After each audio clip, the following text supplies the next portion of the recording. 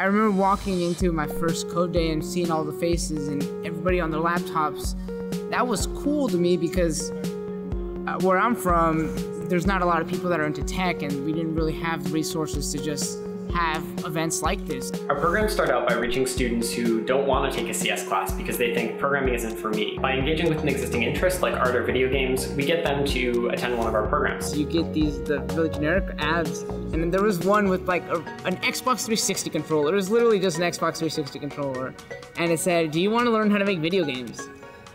And I was like, "Yeah, but this is just looks. It looks. It looked it looked too good to be true. So I clicked it anyways, because that's what you do with ads like that. You just click them. I got, I think five or six of my friends, and I told them, hey, come, come to this thing with me. And they didn't know about code either. I was open to beginners, and my roommate's a beginner, so I was like, come on down. And we came, and we're so happy we're here.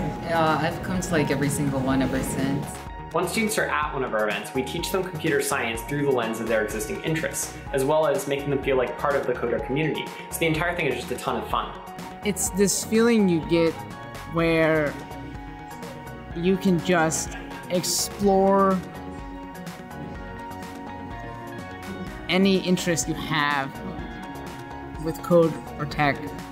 My favorite thing is that there's so much to learn, even if uh, you're a beginner or if you're like advanced. So you end up having this like really cool pool of knowledge from people who like all know a little bit and they're just kind of coming together and like as a group they know like tons of cool stuff and put together really cool projects. Also like fun programming games like make programming a party.